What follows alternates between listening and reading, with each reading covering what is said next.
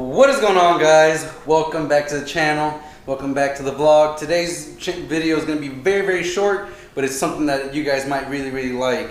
And that is going to be how you guys can be driving around without a front plate.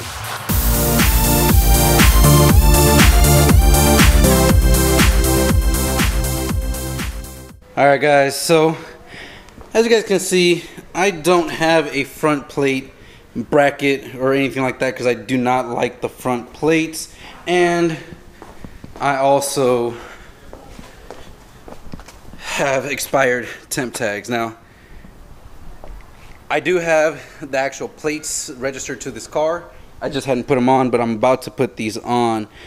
And I'm gonna put the back one on and I actually have this nice black frame that I'm going to use for the back for the back plate and here's the license plate.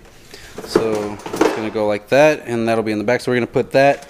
But I'm going to show you guys how you guys can drive around without a front plate and still be okay whenever a police officer pulls you guys over for a front plate. Alright so there we go. We've got the Texas plate with the black frame.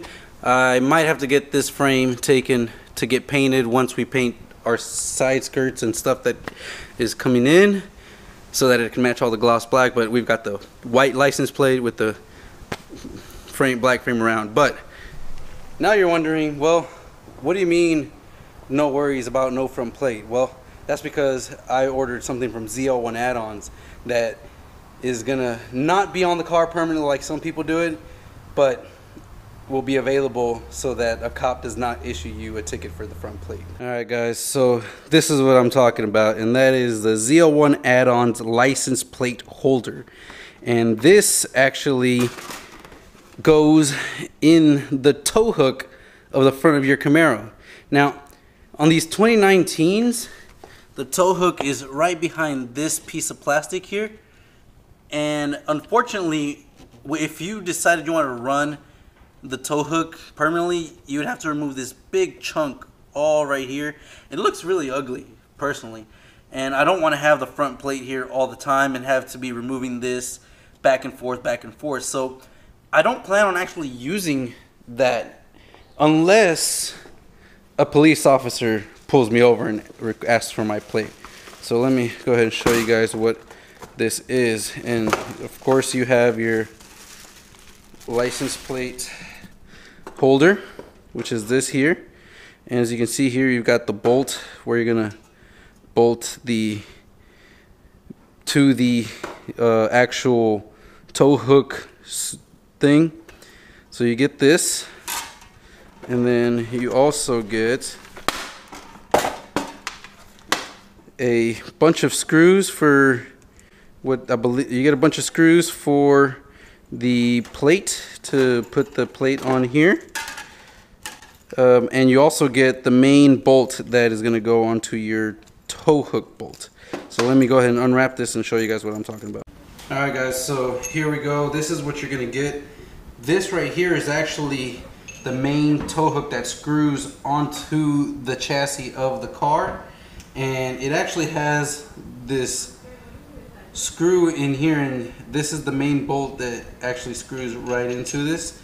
But before you screw that, of course, you've got this plate. So this has this backdrop and you can actually adjust the angle using this screw.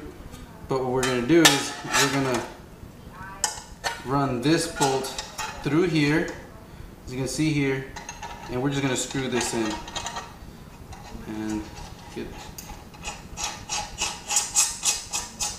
and I'm not worried about how tight it's gonna be I'm just gonna do it hand tight I'm not too worried about it so we're gonna have that hand tight. Um, you end up loosening this up anyways when you're trying to screw that in there because you're gonna be going side to side.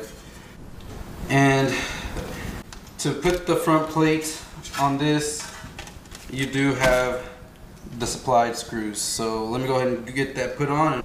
And just like that, we now have the famous tow hook.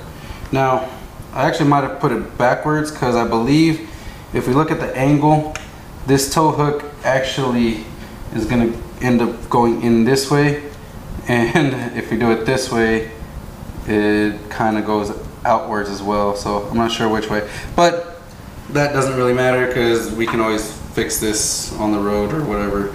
Um, but yeah, that actually ends up going in the front. But we are not going to put this on the front of this car. What I'm going to do with this is actually just throw it in the trunk. And if a cop ever pulls me over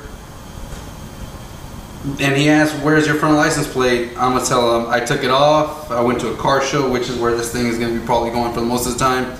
And I didn't want it in the front, but I forgot to put it back on and let me get it, officer.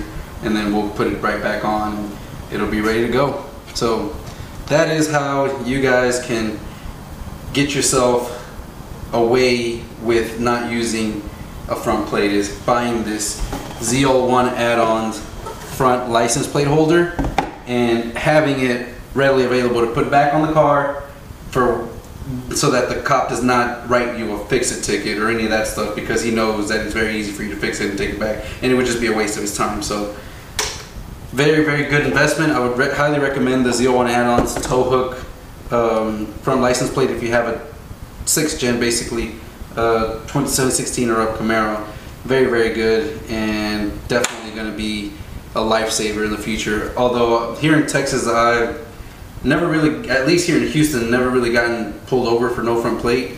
Uh, I believe my mom has gotten pulled over a couple times uh, out in going out of the cities by the state troopers. And even if they decide to try to pull us over, of course we have our saving grace. So this is going to go in the trunk, and the car will remain having a clean front end without any bracket or ugly license plate to cover it and still remain legal. So anyways guys, that's it for today's video. It was fairly short. Uh, really just want to show you guys since I gotten the plates in and I've gotten all this, I wanted to show you guys what you can do if you guys don't want to have a front plate uh, and your state requires it. Um, I hope you guys enjoyed this video. If you did, hit that like button.